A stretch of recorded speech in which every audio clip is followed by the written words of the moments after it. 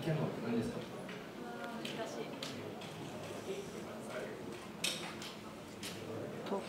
まあ、昨年の後半も BWF のルールのもとで自分のパフォーマンスができない状態だったんですけど大会に参加するっていう、まあ、厳しいルールのもとだったので、まあ、今回も今年からそれ以上の12大会の出場義務っていうのは、まあ、もし何か選手のまあ、今回私みたいに怪我をしたりっていう選手にとってはとても不利になるルールになっているので、まあ、そこは本当に出場が難しい状態の選手に対してだったり、まあ、コンディションが合わない選手とかに対してやはりベストパフォーマンスで選手が望めるような状態が選手からしたらありがたいなと。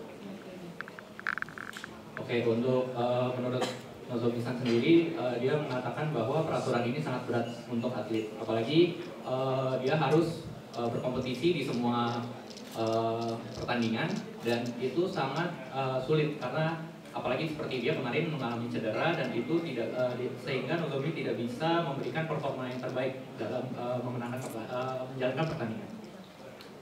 Itu Max, what your opinion about the Tokyo Marathon? Well, um, I think maybe it's a little bit too harsh. Uh, we all want to play as much as we can, but uh, we also have to take care of our bodies, uh, not be injured, and uh, I think maybe uh, six or eight tournaments would have been uh, better. this year we had to play four or five, and then this new year we have to play 12. I think it's a little bit too much.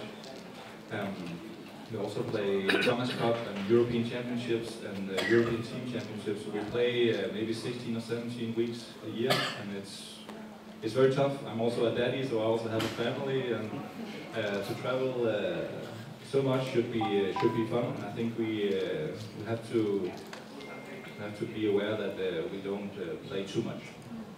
Okay, thank you. Yes.